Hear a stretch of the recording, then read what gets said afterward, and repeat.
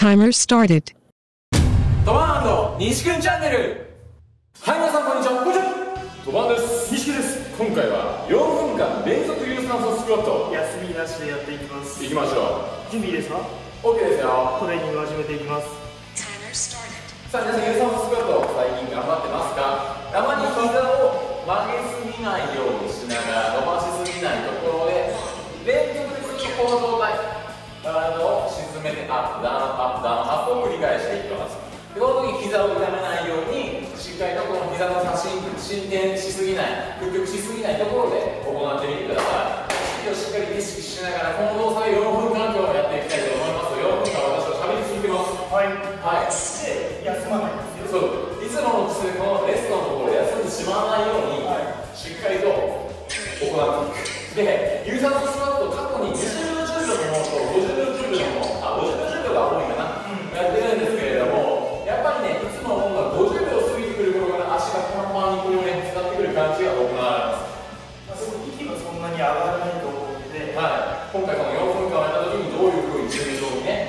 来るのかやっておりますよ。結構太の方がね来ると思うんで、あの来てますね。結構なかなかそう実実がないで4分間スクワットで強くなって結構きるじゃないですか。で十分にこのスクワットでも太もも周りにしっかり効いてます。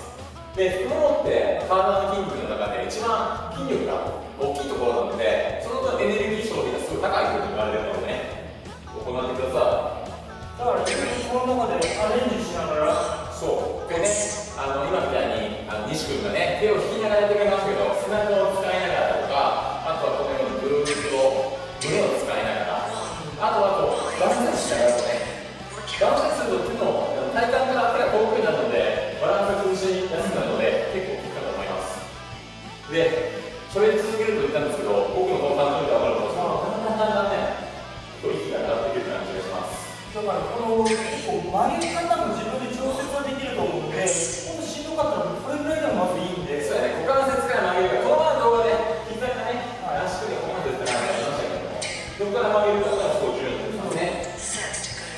基本基準に行ったりは使う筋肉も変わってくると思うのでい。まあ、基本は膝か股関節をしっかり使ってあげるとい。い。と思い。ます。やばくない。でも、結構ね、筋肉痛に多分筋になるので、普段使ってない。と思い。ます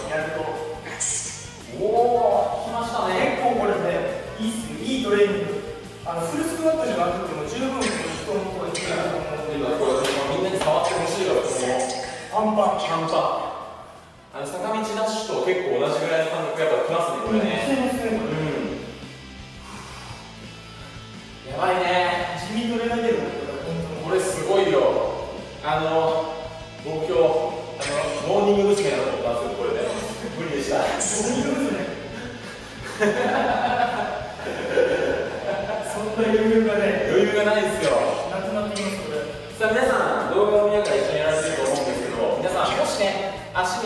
に痛みを感じるようであれば、そこで中断をしてください。しっかり最後までできるだけ。行っていきましょう。さあ、いやーね、カチカチになってますよ。すごい。でも走ってるのちょっと近いかもしれない。近いかもしれないね。はい、はい。結構来るぜ。たまらん。ぜ。誰にやばいぜ。うわ、いぜ。